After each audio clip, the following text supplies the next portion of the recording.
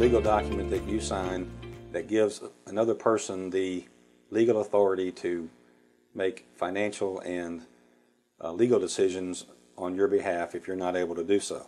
So typical powers that are given in a power of attorney are the authority to cash checks, pay bills, access accounts, um, sell real estate if necessary, access retirement accounts, and things like that.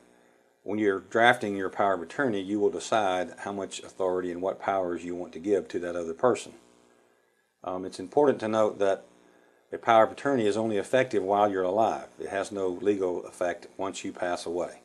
A power of attorney is an important part of a basic estate plan because without it, if you become incapacitated or incompetent and someone needs to be able to act legally on your behalf, they're not going to be able to do so unless they go to the court and get a conservatorship, which is a very lengthy and time consuming process. Finally, it's important for estate planning purposes to make sure that your power of attorney is durable which means that it continues to be effective even if you become incapacitated or incompetent.